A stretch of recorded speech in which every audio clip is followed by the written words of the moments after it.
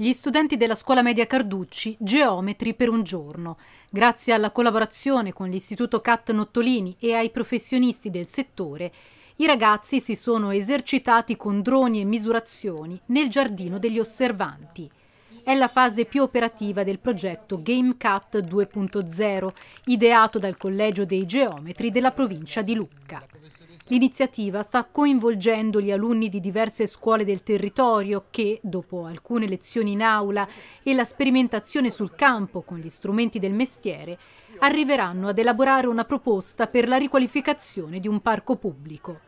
Tra gli aspetti più innovativi del programma, l'utilizzo del popolare videogioco Minecraft Edu, che permette ai giovanissimi di imparare divertendosi e il metodo di educazione tra pari, studenti delle medie e delle superiori, che consente lo scambio di competenze e conoscenze, favorendo al contempo la crescita personale e l'autostima.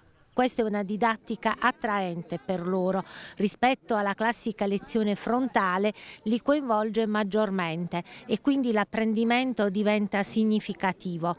Al tempo stesso può dischiudere loro un orizzonte formativo nuovo, conoscono una professione in una maniera laboratoriale e quindi è importante che si facciano attività come questa.